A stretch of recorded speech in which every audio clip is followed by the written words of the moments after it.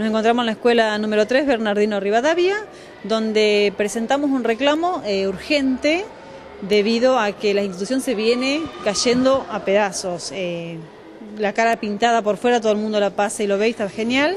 Y necesitamos la institución eh, en excelente estado por dentro. O sea, somos pocos los padres en este momento, pero necesitamos más papás, van a venir más papás y queremos un, o sea, urgente, una respuesta urgente para evitar una tragedia que puede ser la muerte de un chico, de un docente o de los directivos. ¿Ustedes han detallado cuál es la situación y lo van a presentar? Es un reclamo que se hizo hace más de cinco años y no hay respuestas. La escuela está muy deplorable, las cloacas rotas, los baños, los techos, se han hecho pozos en las aulas.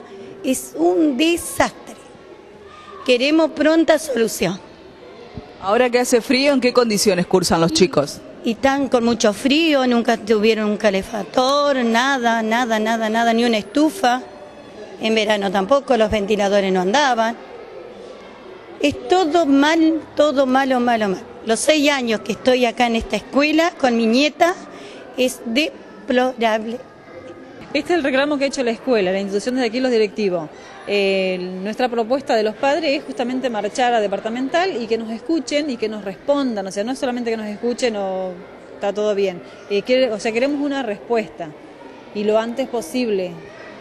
No va a pasar, que, ¿cuánto tiempo puede pasar esto de que eso se venga abajo? Si ustedes van, van a ver, mostrar las imágenes luego y se van a dar cuenta que no estamos haciendo por política ni por nada, porque no nos interesa la política en este momento, sino que nuestros chicos estén bien y seguros donde están.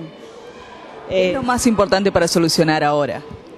Eh, mi punto de vista, y yo creo que muchas mamás, todo, todo, porque la pintura de afuera no nos sirve, la ve el que pasa y dice que wow, qué buena escuela, eh, pero nosotros que entramos acá y que ayer con otras mamás, porque tampoco por ahí podemos ir y venir arriba cada rato, eh, vimos la situación en la que se, en la que se viven los chicos, donde una, maestra tuvo que cambiarse de aula y dar clases en la sala de computación, porque el aula se viene abajo. Tenés los machimbres rotos, tenés los, los focos, los luz, no sé cómo llamarlo, no sé cómo se llaman. Eh, en un estado donde un viento fuerte los, hace caer a todos y los chicos van a salir lastimados en esa circunstancia.